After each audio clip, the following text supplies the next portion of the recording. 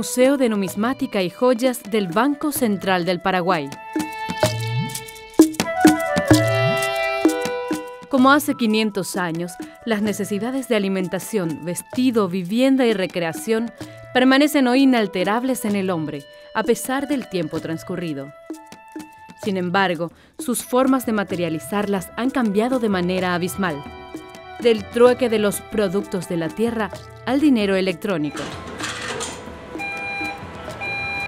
La numismática, ciencia que trata del conocimiento de las monedas, medallas y billetes antiguos, nos presenta un panorama que a medida que se profundiza nos orienta hacia la historia y con pequeñas anécdotas nos introduce en la meditación sobre la veracidad de hechos que han marcado y siguen marcando la realidad de nuestra identidad colectiva. La función del museo es exhibir, pero además custodiar, investigar, interpretar y preservar los bienes culturales, y lo hará en forma continua y permanente para que la misma no se remita a ser simplemente un exhibidor pasivo, sino un ente de comunicación social y cultural. El museo constituye una adhesión del Banco Central del Paraguay al fortalecimiento de la cultura y la herencia histórica de nuestro país. Este museo busca que se genere un diálogo entre las monedas y billetes antiguos y el público, en especial los jóvenes, que facilite la interpretación de los hechos sobre el proceso que se inició con las cuñas de don Domingo Martínez de Irala hasta la creación del Banco Central del Paraguay, autoridad monetaria desde 1952. El museo consta de tres módulos la época prehispánica y colonial, la época independiente y la creación del Banco Central del Paraguay. Porque aquí tenemos relatada en billetes, en monedas y en joyas toda la historia del país. Etapas felices y etapas menos felices. Bueno, se supone que cuando llegó Cristóbal Colón a América, los primeros españoles traían monedas y también los primeros que llegaron al Paraguay. Pero resulta que en todo el continente americano no se utilizaba el sistema de intercambio a través de monedas, sino que a través del intercambio de productos de la tierra o de metales preciosos. Eh, al llegar acá los españoles esas monedas que traían no les fue útil. Formas prehispánicas de intercambio comercial. Las operaciones comerciales desde los inicios de la conquista se basaron en una forma primitiva de cambio, conocida como trueque. La moneda no se usaba entre los guaraníes. Permutaban mercancías por mercancías siguiendo la costumbre primitiva, dada su reducida economía doméstica. Primer sistema monetario de la época colonial.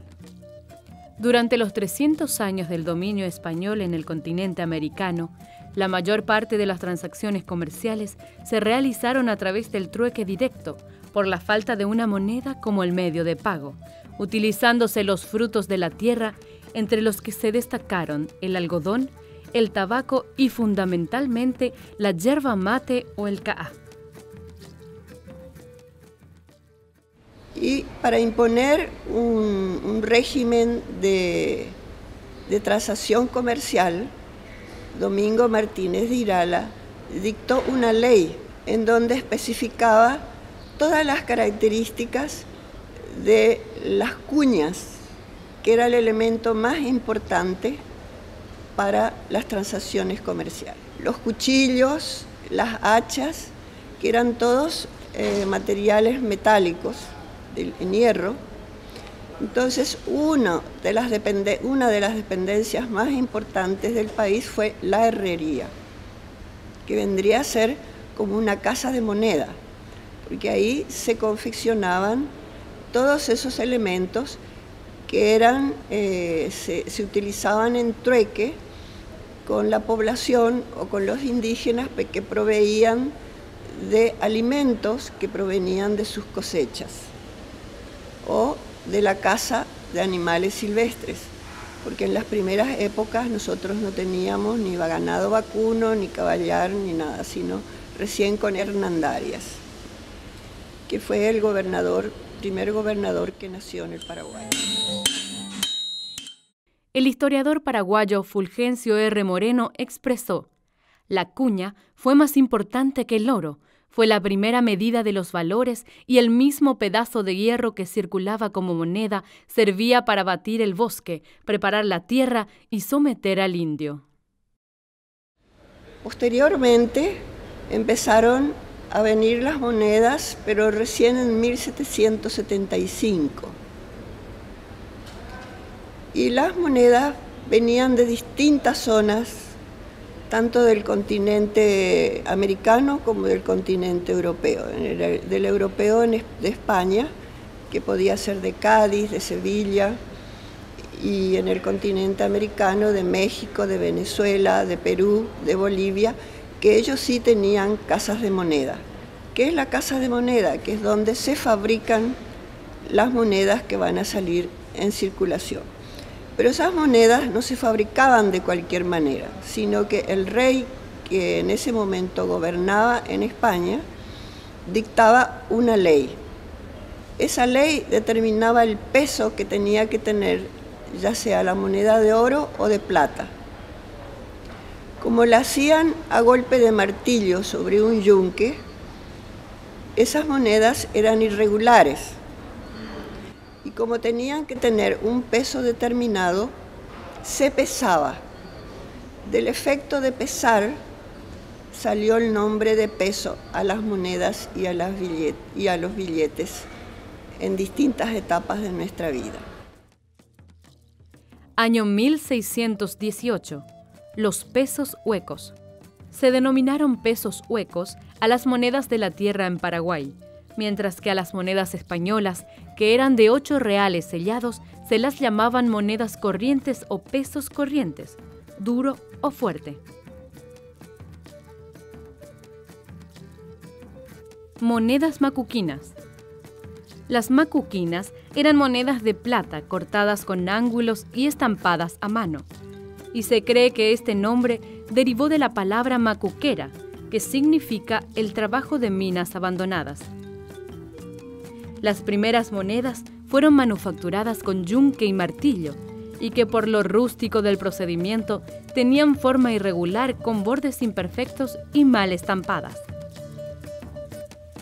Pero estas monedas no solamente se le dio el nombre de macuquinas, también se le llamó navieras, porque de América se llevó mucha plata y mucho oro, y en el viaje, que era bastante largo, ya se iban haciendo las monedas que después se le entregaría al rey y por eso se le llamaron navieras. De las monedas también se falsificaban las monedas. ¿Cómo se falsificaban? Dándoles menor peso. Y sobre todo eso se descubrió en Perú y el, el que fabricó esas monedas se llamaba, su apellido era de la Rocha y de ahí se le llamó rochunas a esas monedas que eran falsas, que las hicieron salir de circulación. A mediados del siglo XVII se descubrió que en la seca de Potosí se fabricaban monedas con ley muy inferior a la oficial, es decir, eran falsas. En 1649 se descubrió el fraude. Los culpables, Ramírez de Arellano y Gómez de la Rocha, fueron condenados a muerte y las monedas tomaron el nombre de rochunas derivando del apellido de De la Rocha. En el Paraguay tenemos ya monedas eh, circulares que llevaron distintos nombres, de cordoncillo, de, este, venían con la efigie de, de los reyes, que fue Carlos III, Carlos IV y recién tenemos nuestra primer moneda, o sea, tenemos nuestra independencia con nuestra independencia de la corona española. Con don Carlos Antonio López se crea la primer casa de moneda y única que tuvo Paraguay. Y eso es muy importante porque el signo monetario de un país, así como tiene el mismo significado que tiene la bandera y el escudo, de que significa la soberanía del país. ¿Y por qué llamo la atención sobre esto? Porque nosotros tuvimos dos etapas. La primera soberana que empieza con Rodríguez de Francia, que todavía no teníamos moneda propia, después con Don Carlos, que ya tenemos moneda propia. La primera moneda paraguaya. Durante el gobierno de don Carlos Antonio López y de don Mariano Roque Alonso, se reconoció la necesidad de contar con moneda propia. Por ley del 24 de noviembre de 1842, fue ordenada la acuñación de monedas de cobre hasta completar la suma de 30 mil pesos.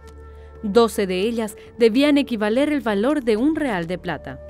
La acuñación se hizo una parte en Inglaterra y otra parte en la Casa de la Moneda en Asunción.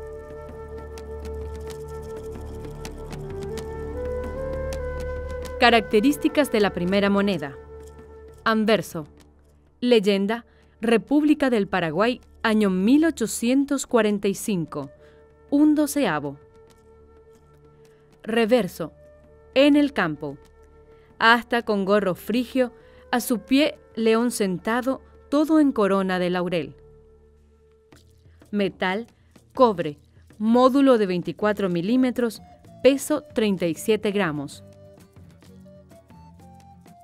febrero de 1854, el juez de Itagua descubrió lo que se considera la primera falsificación de billetes de nuestra historia. La misma estuvo a cargo de un tal Domingo Mendieta, quien confesó haber fabricado seis billetes de un real cada uno. El delincuente fue castigado con la pena de 100 azotes, atado a un poste en la plaza pública, más un determinado tiempo en prisión. La triste etapa de nuestra historia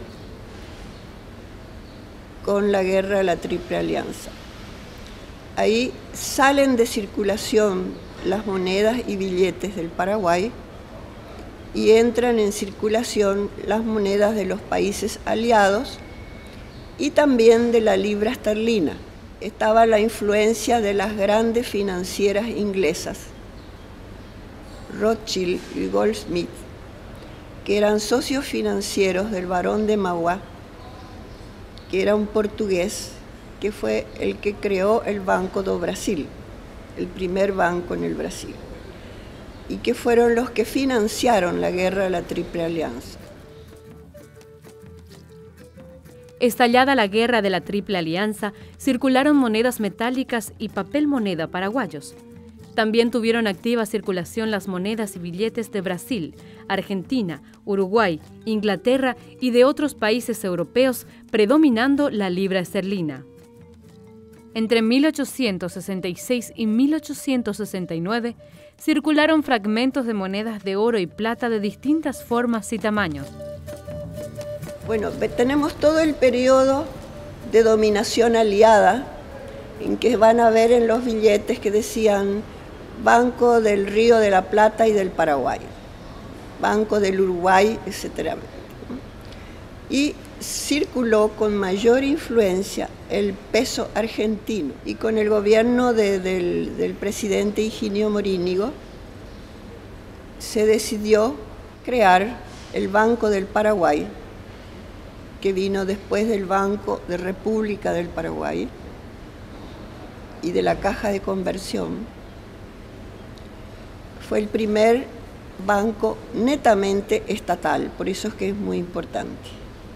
Anteriormente eran o bancos privados o semiprivados, y eso producía permanentes inflaciones y devaluaciones de la moneda, porque los bancos privados emitían, emitía la moneda a su criterio, no con un criterio económico o una planificación económica a partir del Banco del Paraguay, que tiene su edificio propio, o se construyó su edificio propio, que actualmente es el Banco de Fomento.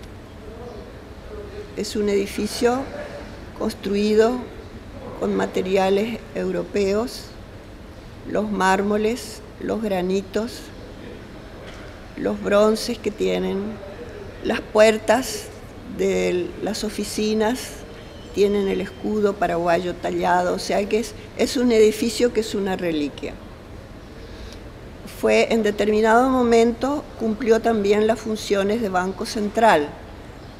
Bueno, tenemos todo un proceso ahí. Con el Banco del Paraguay se crea el signo monetario guaraní, que es nuestra segunda independencia económica. Los creadores de este signo fue el doctor Carlos Pedretti y el señor Armodio González, que fueron presidente y gerente del Banco del Paraguay. Es la única época que hay monedas que no son perfectamente circulares, en el sentido de que son ondeaditas, tienen como un festoncito. Es la época, después tenemos, en todo momento fueron monedas netamente circulares. Eh, los primeros billetes de la época del signo monetario guaraní fueron billetes del antiguo Banco República resellados. Y fue la empresa Tomás de la Rue que emitió los primeros billetes, pero, o sea, con el signo monetario guaraní, pero con el nombre de Banco del Paraguay. Recién en 1952 el guaraní aparece con el nombre de Banco Central del Paraguay. Y que es el signo monetario que tenemos hasta, nuestros días. El 5 de octubre pasado se cumplió 64 años de su existencia. Y que en América tenemos tres países que conservan su signo monetario, que es Estados Unidos, Costa Rica y Paraguay. ¿Eso qué significa? Significa que a pesar de todas las protestas de inflación, etcétera, etcétera, tenemos un signo monetario con una estabilidad determinada, ¿verdad? Porque no se ha cambiado el signo. Ni se le quitaron ceros, ni se, le agregaron. Decreto Ley número 5130 del 8 de septiembre de 1944.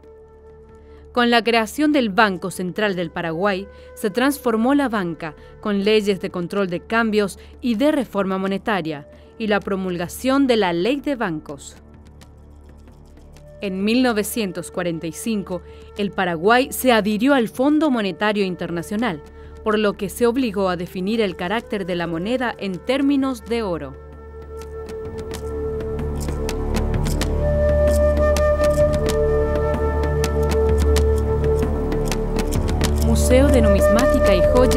Banco Central del Paraguay.